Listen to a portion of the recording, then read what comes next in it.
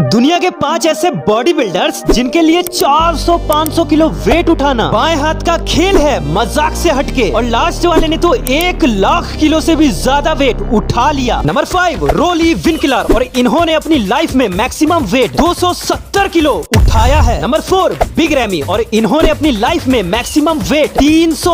kilo उठाया है number two John Cena और इन्होंने अपने शोल्डर आरोप दो किलो वेट उठाया है बिग शो और एज को दोनों को एक साथ उठाया लास्ट वाले को देखने से पहले अगर आप लोग भी अपने देश के आर्मी को दिल से रिस्पेक्ट करते हो तो उनके हार्ड वर्क के लिए इस वीडियो को लाइक करके चैनल को सब्सक्राइब कर लो और कमेंट्स में अपने देश का झंडा स्पैम कर दो देखते हैं किस देश का झंडा सबसे ज्यादा आता है नंबर वन केविन फास्ट जिन्होंने एक लाख अट्ठासी हजार आठ सौ तीस किलो के प्लेन को अट्ठाईस फीट तक खींच दिया भाई